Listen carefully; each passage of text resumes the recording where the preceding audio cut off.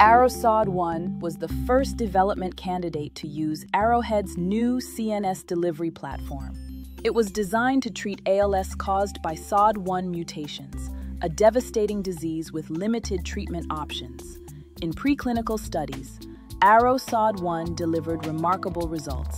A single intrathecal dose reduced SOD1 mRNA by up to 95% in key brain regions.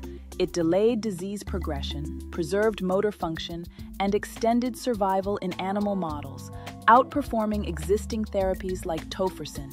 It proved that Arrowhead's TRiM platform could reach deep into the CNS and achieve long-lasting gene silencing with the potential for quarterly or even half-yearly dosing.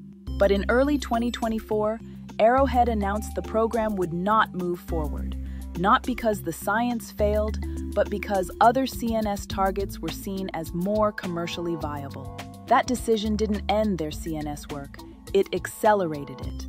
Today, programs like ARO-MAPT, Arrow HTT, and ARO-SNCA are building on the foundation Arrow SOD1 laid and a new blood-brain barrier platform has already shown deep brain delivery after subcutaneous injection in preclinical models, paving the way for systemic CNS siRNA in humans. ARO-SOD1 didn't crash and burn, it launched the ship, and the voyage is still underway.